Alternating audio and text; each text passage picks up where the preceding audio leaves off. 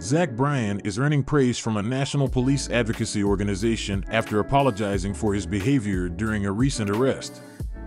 Retired Sergeant Betsy Branter Smith, a spokesperson for the nonprofit National Police Association, spoke to TMZ about the situation.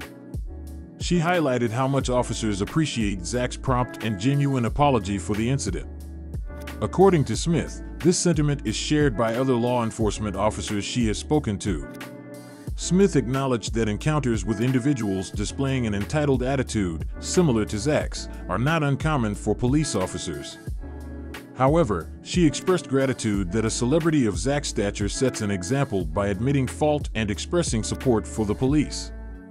Despite Zach Bryan's critical comments during his arrest, where he mentioned that cops are out of hand and made remarks about the officer's demographics, Sergeant Smith chose to overlook those comments.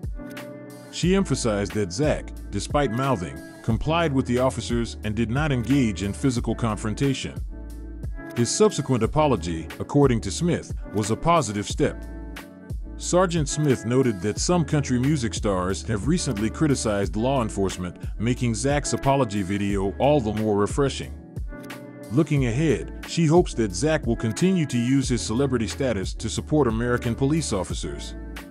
As previously reported, Zach Bryan took full responsibility for his actions in an explanatory video he posted following his arrest in Oklahoma.